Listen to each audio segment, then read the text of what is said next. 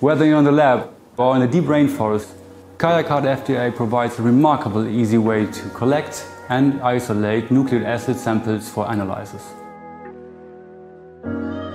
It's simple. Apply almost every biological sample to the FTA matrix and the nucleic acid are instantly captured and preserved without the need for refrigeration. Nucleic acids remain immobilized on the matrix at room temperature, ready for analysis days, months or even years later. Law enforcement agencies traditionally use FTA technology to collect and archive DNA samples from convicted criminals.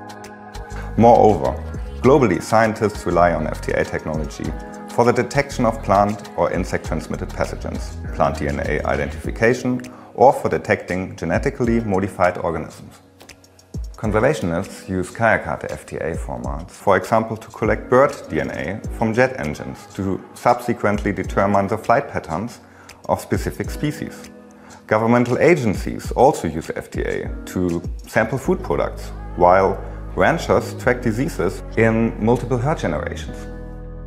QIAGEN offers several downstream options for analysis, such as direct PCR amplification for normal FTA cards, or the elution of nucleic acids from the matrix using the FTA elute formats.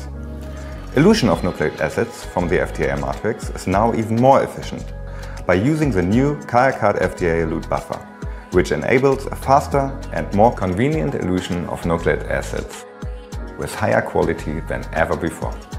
While the range of applications is large, they all share a common element, simplicity. QIAcard FTA helps scientists speed up their research and achieve their goals. QIAGEN. Sample to insight.